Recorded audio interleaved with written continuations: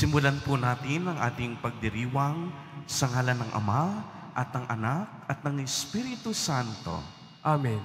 Ang pagpapala ng ating Panginoong Heso Kristo, ang pag-ibig ng Diyos Ama at ang pakikipagkaisa ng Espiritu Santo naway sumainyong lahat.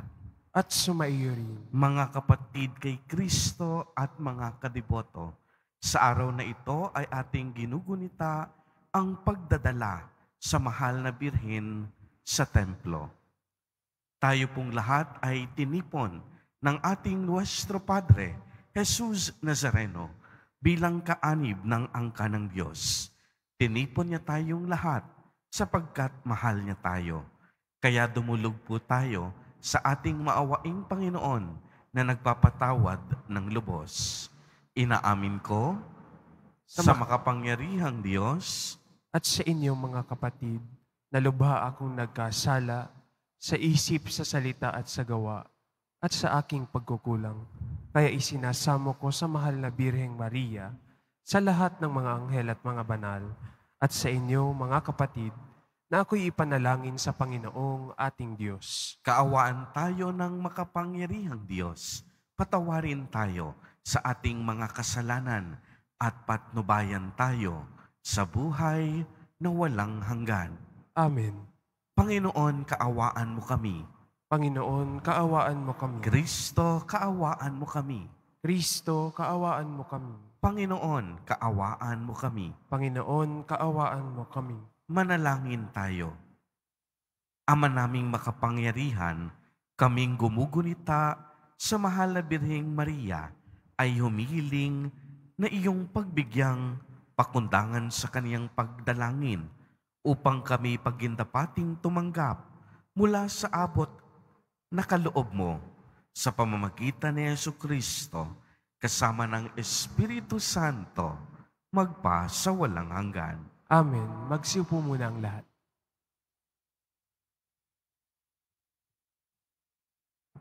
Pagbasa mula sa ikalawang aklat ng Makabeyo. Noong mga araw na iyon, may isang matanda at iginagalang na guro ng kautusan. Siya si Eliasar. Nakakatawa nilang siya ay pakani ng baboy, kaya't pinilit siyang magbukan ng bibig. Sa pag-iwas niya makapitan ng kasamaan, pinili na niya ang mamatay ng marangal. Kaya't ang pagkain pilit na isinubo ay kanyang iniluwa.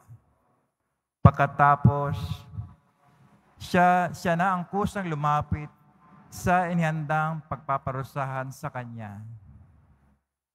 Pinakita niya na dapat maglakas loob ang sinuman na tumangking kumain ng pagkaing labag sa kautusan kahit ito'y nangangahulugan ng kanyang kamatayan.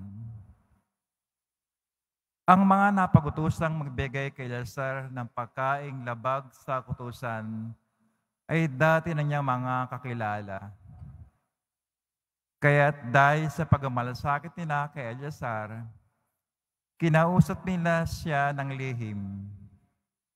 Pinapaghanda nila siya ng karning hindi pinagbabawal at ipinayo na magkunwari siyang ang karning baboy ang ibibigay sa kanya ang kakanin niya. Ngunit ang totoo, ang dala niya ang kanyang kakanin.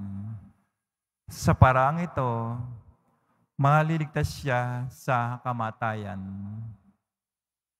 Subalit, ang kagandang loob na ito ay magalang niyang tinanggihan. Buo na ang kanyang pasya, matanda na siya at maputi na ang kanyang buhok.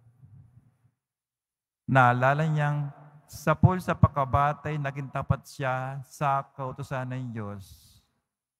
Kaya't sumagot siya, Patay na ninyo ako ngayon din. Sa gulang kong ito'y hindi na dapat magkumwari pa. Ano na lang ang sasabihin ng mga kabataan kung hindi ko kung hindi ako mananatiling tapat? Hindi ba sasabihin nila na kung kailan ko inabot ang siyam taon, ay saka ko pa tinalikda ng aking relihiyon. Kung ako'y magtaksil para lamang madugtungan ang konti ang aking buhay, para ko na rin iniligaw ang mga kabataan at binigyang kahiyan ng aking katandaan.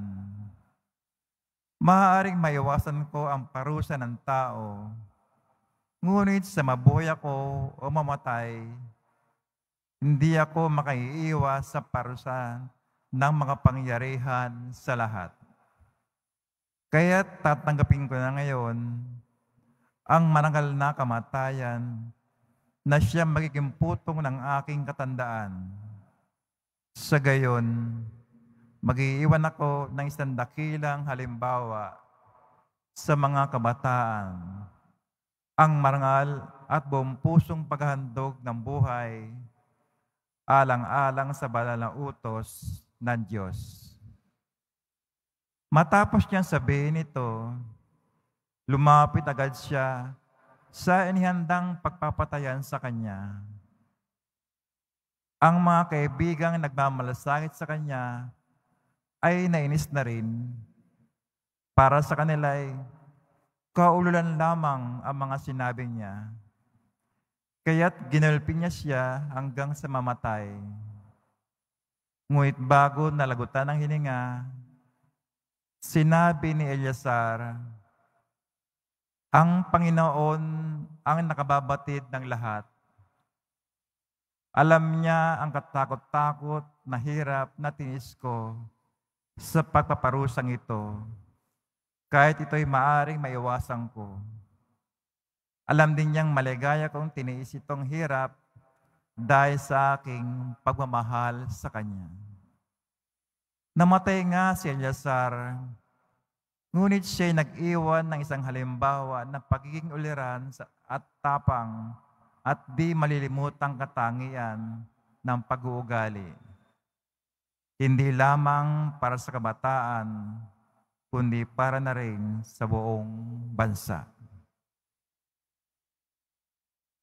Ang salita ng Diyos. Salamat sa Diyos. Ako'y tinataguyod ng aking Panginoon Diyos. Ako'y itinataguyod ng aking Panginoong Diyos. O Panginoon ko, kay raming kaaway, sa bangalingkod mo ay kumakalaban. Ang palagi nilang pinag-uusapan, ako raw, O Diyos, di mo tutulungan. Ako'y itinataguyod ng aking Panginoong Diyos. Ngunit ang totoo sa lahat ng oras, iniingatan mo at inililigtas. Sa akin tagumpay ang ginagawad, mahina kong loob ay pinalalakas. Kaya ikaw poon ng aking tawagan, sinagot mo ako sa bundok na banal. Ako'y itinataguyod ng aking Panginoong Diyos. Ako ay humimlay, agad nakatulog. Ligtas na nagising ang iyong kinapukop. Libo mang kaaway, wala akong takot. Pumahani man sila sa aking palibot. Halika o Diyos, iligtas mo ako. Lahat kong kaaway ay pasukuin mo. Ako'y itinataguyod ng aking Panginoong Diyos. Magsitayo na po ang lahat.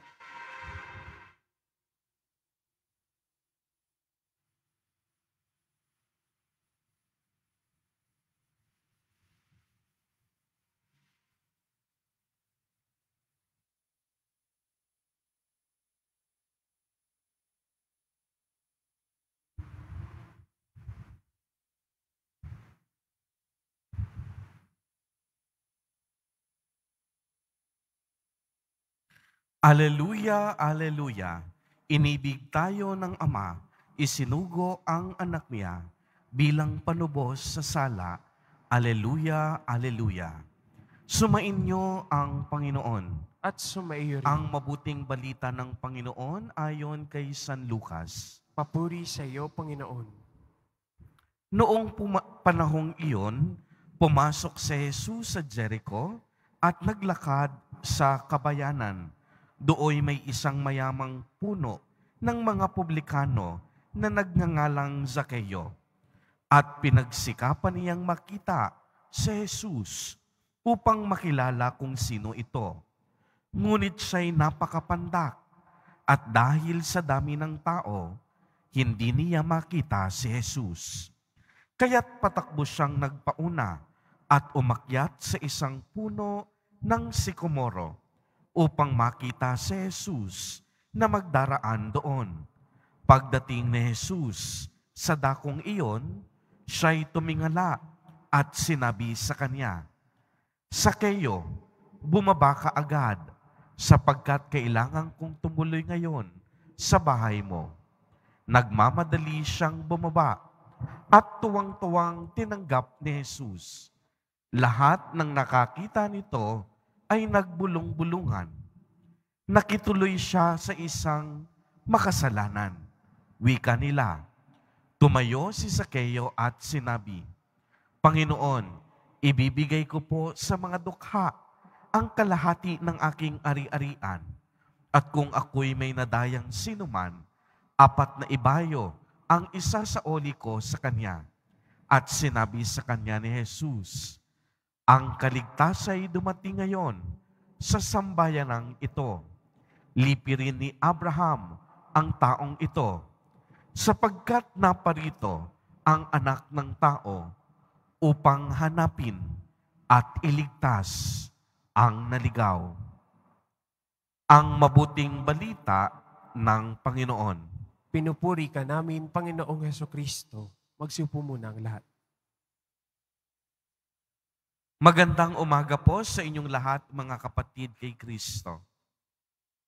Sa lahat po ng ating mga taga-subaybay sa iba't ibang online platforms at sa lahat ng ating mga kadiboto sa iba't ibang panig ng Pilipinas at maging sa buong mundo kung saan tayo ay naaabot ngayon ng ating live streaming.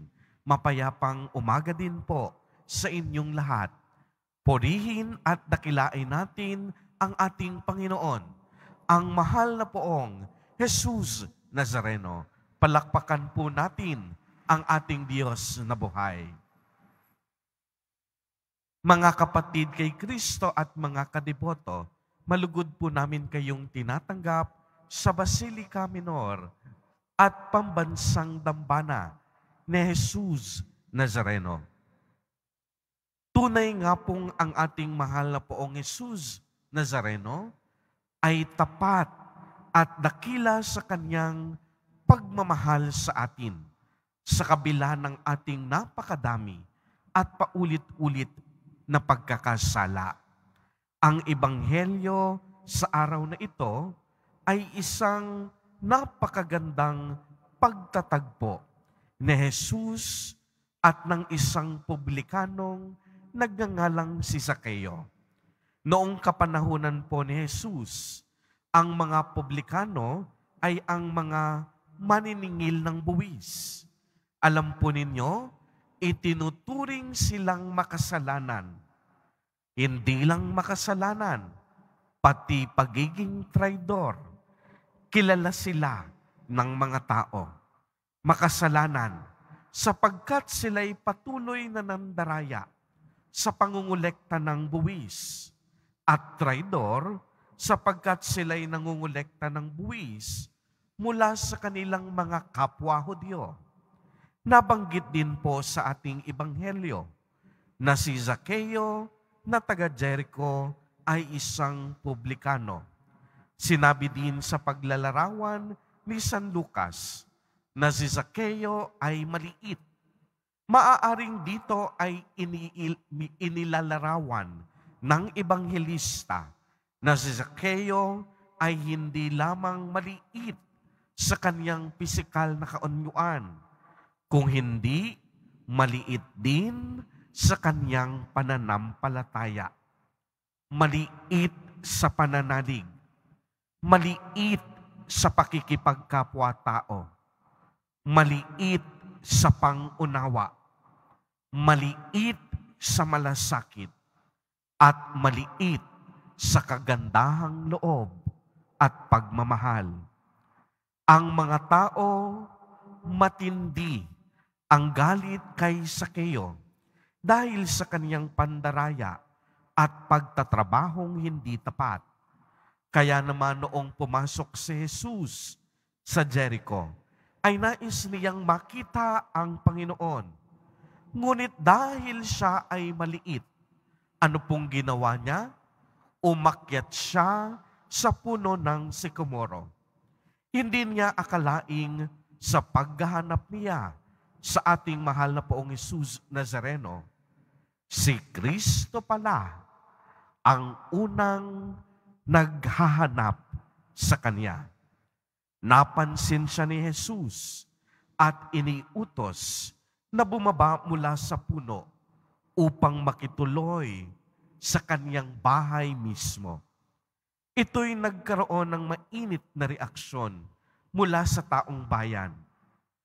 Ang tanong, bakit po, Father? Kasi itinuturing nga at kinikilala nila ang kabanalan ni Jesus at hindi sila makapaniwala na makakayanan at ipapahintulot ni Jesus Nazareno na siya ay pumasok sa tahanan ng isang makasalanan. Kaya nga kung mapapansin po ninyo, ay agad-agad at buong kababaang loob na nangako si Sakeo na ang kalahati ng kaniyang ari-arian ay ibibigay niya sa may hirap at ang mga nasamsam niya sa pangungulekta ng buwis ay kanyang isa sa uli ng apat na beses. Dito ay narinig natin ang lahat na ipinahayag ng ating Panginoon. Sinabi ni Jesus Nazareno, dumating na ang kaligtasan sa tahanang iyon at ito po ay isang napaka makapangyarihang pagpapatunay na bahagi ng misyon ni Jesus Nazareno na hanapin at tawagin ang bawat makasalanan. Uulitin ko po, bahagi sa misyon ni Jesus Nazareno na personal na hanapin at tawagin ang bawat makasalanan. Sila man ay binibigyan ng pagkakataon upang magnilay, magsisi, at manumbalik na muli sa ating Panginoon.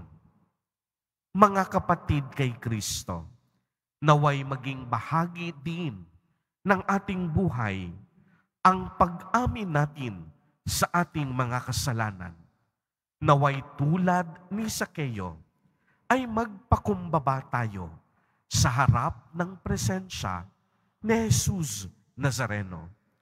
Aminin po natin sa Kanya ang lahat ng ating kahinaan at mga pagkukulang upang tayo po ay maging karapat-dapat sa hawa at habag na Kanyang ipinagkakaloob sa atin sa araw-araw ng ating buhay.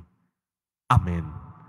Purihin at dakilain natin ang ating Panginoon, ang mahal na poong Jesus Nazareno.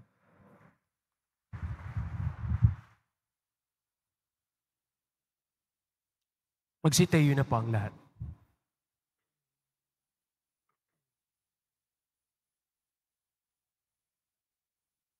Minamahal kong mga kapatid, sa araw na ito, sa paggunita natin sa pagdala kay Maria sa templo, hilingin natin sa Ama na ipagkaloob sa atin ang biyaya ng pagiging bukas loob sa pag-aalay ng ating buhay sa Diyos.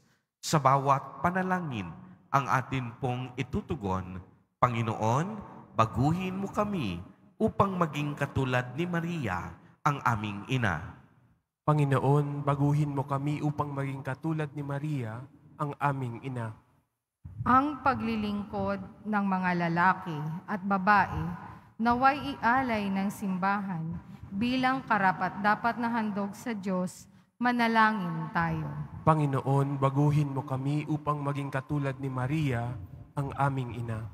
Ang lahat ng sumasampalataya kay Kristo, naway dinggin ang tinig ng Diyos, nananawagan sa lahat upang maging banal, manalangin tayo. Panginoon, baguhin mo kami upang maging katulad ni Maria, ang aming ina. Ang halimbawa ni Maria, naway magningning sa pamamagitan ng buhay ng mga taong itinalaga sa Diyos, manalangin tayo. Panginoon, baguhin mo kami upang maging katulad ni Maria, ang aming ina. Ang mga may sakit at mga nagdurusa, naway maramdaman ang presensya ni Kristo sa pamamagitan ng ating nakapagpapasiglang presensya, manalangin tayo. Panginoon, baguhin mo kami upang maging katulad ni Maria, ang aming ina. Ang mga yumao, naway maging karapat-dapat ang kanilang sakripisyo sa pamamagitan ng ating matuwid na pamumuhay, manalangin tayo. Panginoon, baguhin mo kami upang maging katulad ni Maria, ang aming ina. Panginoon, ipagkaloob mo sa amin, tulad ni Maria, na tumugon ng pagsang-ayon sa iyong kalooban at tuparin ito sa aming buhay. Hiniling namin ito sa pamamagitan ni Kristo na aming Panginoon. Amen. Magsiupo muna ang lahat.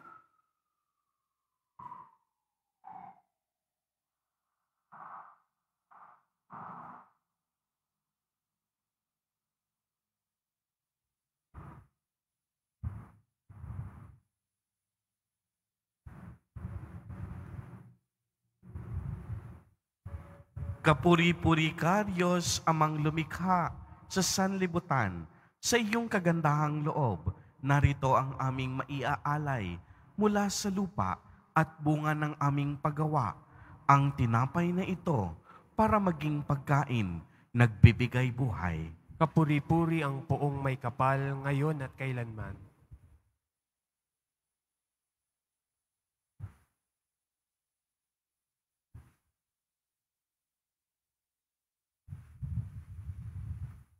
Kapuri-puri ka, Diyos, amang lumikha sa sanlibutan. Sa iyong kagandahang loob, narito ang aming maiaalay mula sa katas ng ubas at bunga ng aming paggawa. Ang alak na ito para maging inuming nagbibigay ng iyong espiritu. Kapuri-puri ang poong may kapal ngayon at kailanman.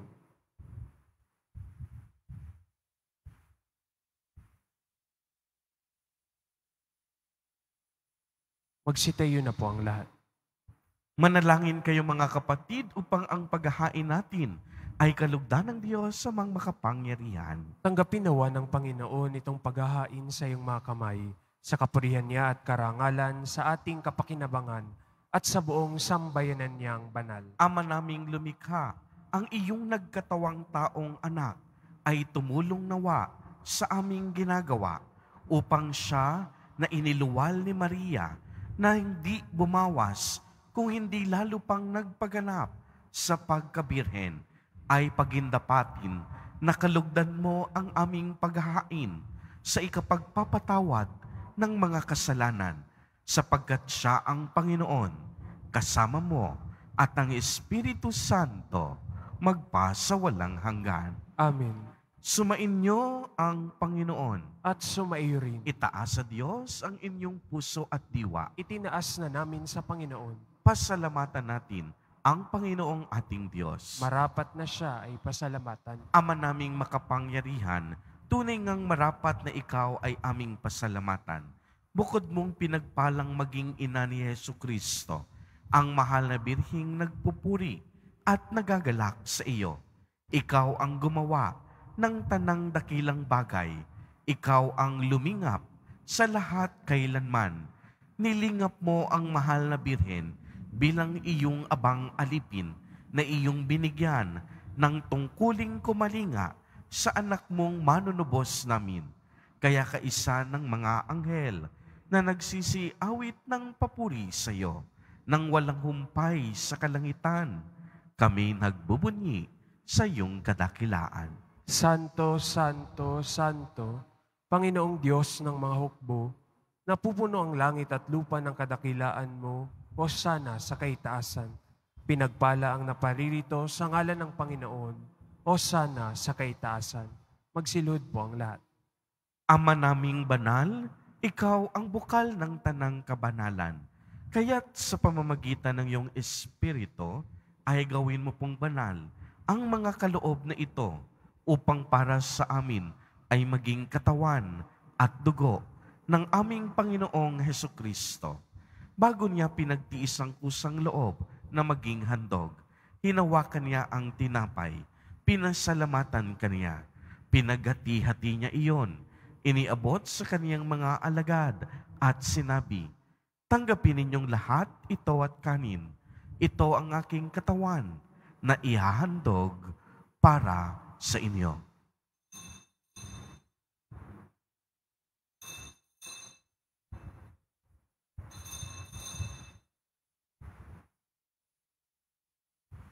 Gayon din naman noong matapos ang hapunan, hinawakan niya ang kalis, muli kanyang pinasalamatan, iniabot niya ang kalis sa kaniyang mga alagad at sinabi, Tanggapin ninyong lahat ito at inumin. Ito ang kalis ng aking dugo, ng bago at walang hanggang tipan. Ang aking dugo na ibubuhos para sa inyo at para sa lahat sa ikapagpapatawad ng mga kasalanan. Gawin ninyo ito sa pag-alaala sa akin.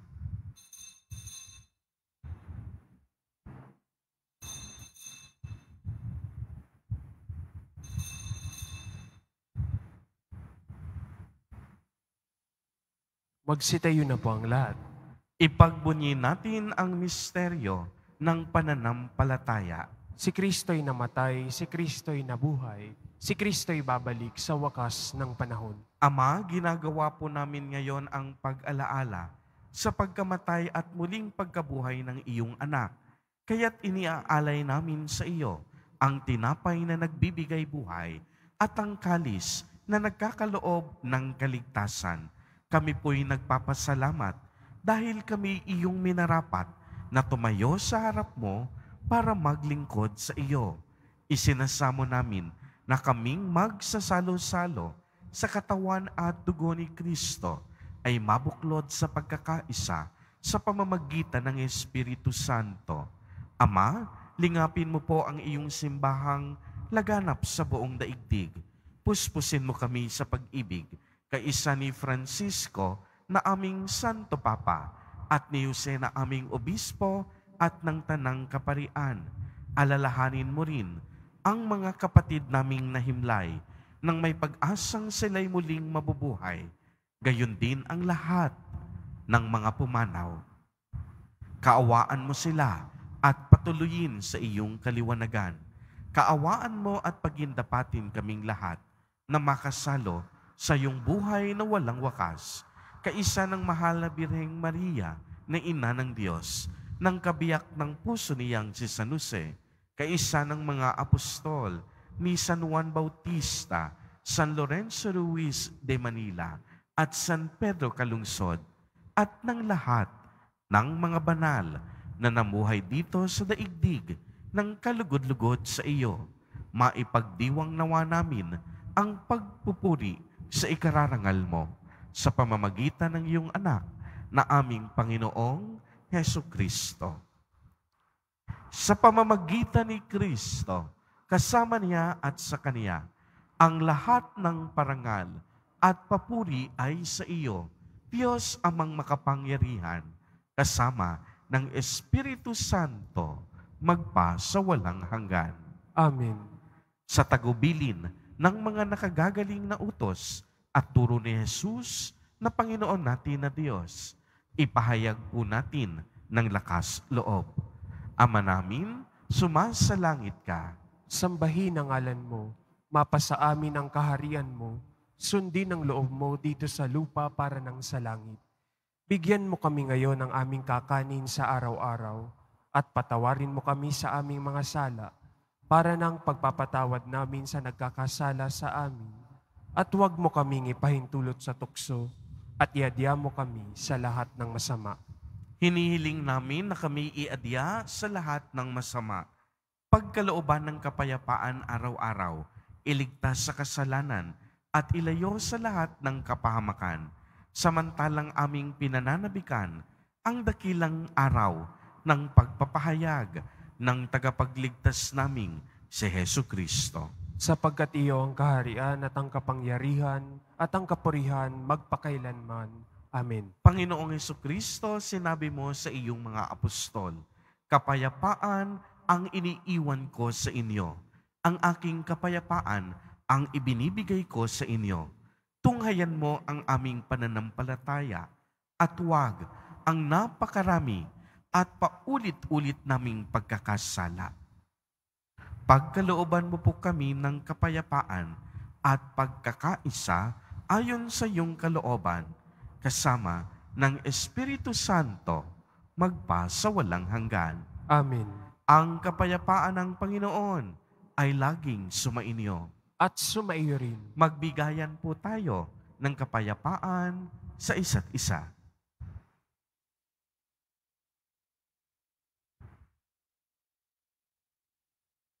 Kordero ng Diyos, na nag-aalis ng mga kasalanan ng sanlibutan, maawa ka sa amin.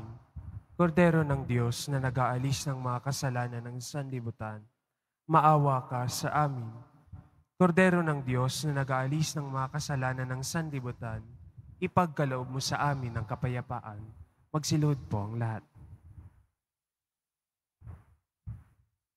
Mga kapatid kay Kristo at mga kadiboto, narito ang ating Nuestro Padre, Jesus Nazareno. Lumapit po tayo sa Kanya at magbalik loob.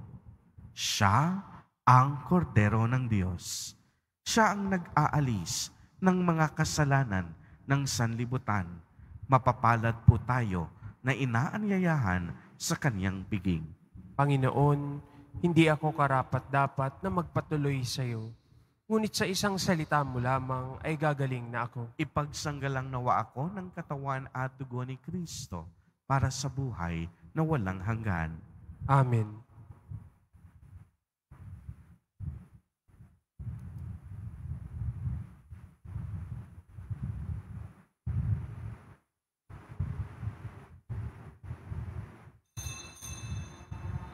Para sa lahat ng tatanggap ng banal na komunyon, sasagot po tayo ng amen pagkasabi ng pari o ng lay minister ng katawan ni Kristo at isubo agad sa bibig bago umalis sa harapan ng pari o lay minister. Sumunod po tayo. Maraming salamat po.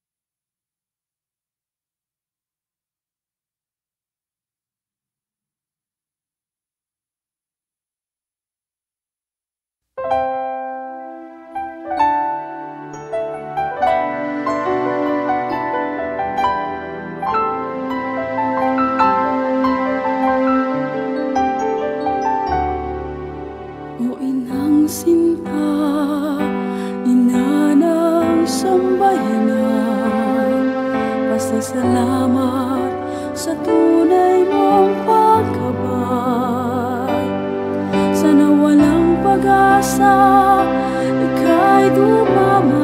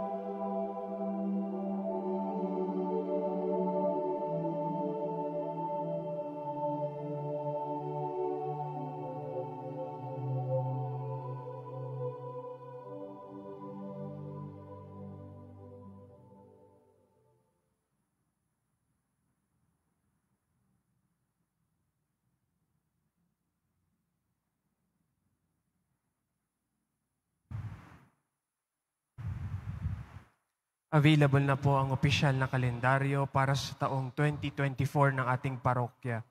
Sa mga nagnanais bumili, maaari kayong magtungo sa ating parish office.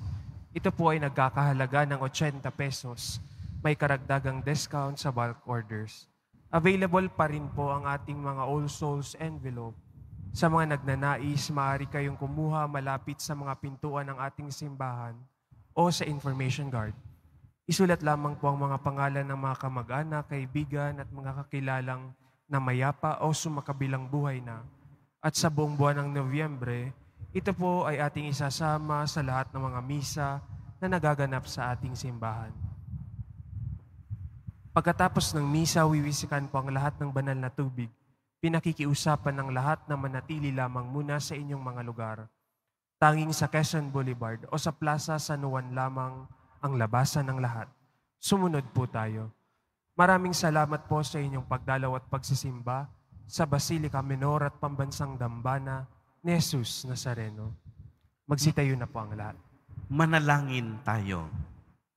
Ama naming mapagmahal, sa pagsasalo namin sa banal na pakikinabang, ang iyong kagandahang loob ay aming hinihiling upang ang pagpaparangal namin sa mahal na Birhen at pagtulad namin sa Kanya ay magpagindapat na aming paglingkuran ang pagganap sa kaloob mong kaligtasan sa pamamagitan ni Yesu Kristo kasama ng Espiritu Santo magpa sa walang hanggan. Amen. Panalangin para sa mga kaluluwa. Mga kapatid, atin pong ipagdasal ang ating mga minamahal na yumao at ang lahat ng mga kaluluwa sa purgatorio. Panginoon namin Diyos, Ama namin, Ikaw po ang dahilan ng aming pagsilang. Sa iyo galing ang aming hiram na buhay. Buong kababaang loob po kaming nananalangin at kami nagmamakaawang kalugdan mo po ang mga kaluluwa ng mga pumanaw na sa mundong ito. Sila naway magkamit ng buhay sa iyong piling. Alisin mo ang anumang mga karumihan ng kasalanan upang sila ay maging marapat sa iyong walang hanggang kalinisan. Iahon mo sila mula sa purgatorio at bigyan ng puwang sa iyong kaharian sa langit. Kapayapaan kailanman ang igawad ng may kapal sa mga yumaong nagsipanaw. Sila naway silayan ng iyong ilaw na walang hanggan. Amen. Mapanatag nawa sila sa kapayapaan. Amen.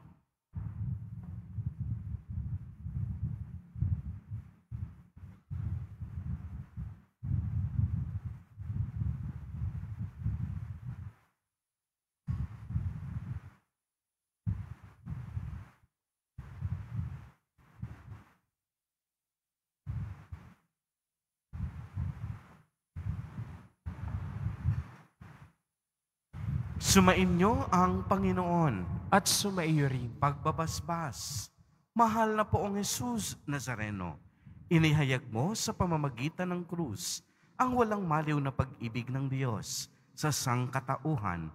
Pakinggan mo ang kahilingan ng iyong angkan na nagsusumamo sa iyo.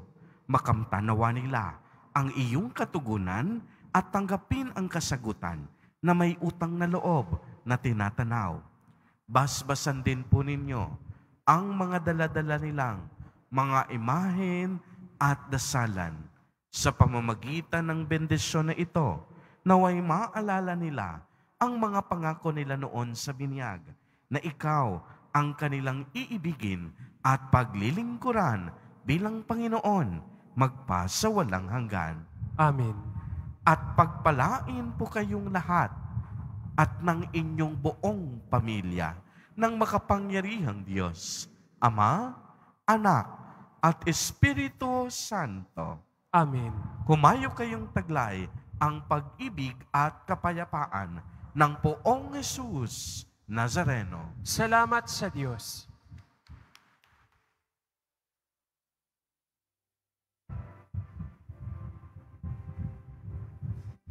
Cristo Padre Jesus Nazareno, sinasamba ka namin. pinipintuho ka namin. Aral mo ang aming buhay at kaligtasan, Nuestro Padre Jesus Nazareno. Iligtas mo kami sa kasalanan. Ang krus mong kinamatayan ay sagisag ng aming kaligtasan. Nuestro Padre Jesus Nazareno, dinarangal ka namin. Nuestro Padre Jesus Nazareno, nilulwalhati ka namin. Nuestro Padre Jesus Nazareno, dinarangal ka namin. Nuestro Padre Jesus Nazareno, nilulwalhati ka namin.